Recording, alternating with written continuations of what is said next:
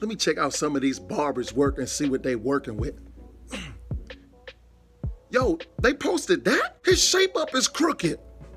Oh, oh, let me look at some of these other ones. Man, that ain't even fade. He got all enhancements on it.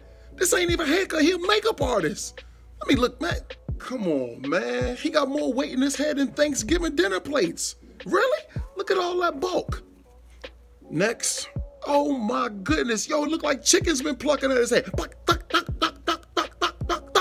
Come on, man. This is what they doing? Man, these haircuts are trash. Straight doo-doo. Straight hot garbage. Let me send them one of my haircut pictures.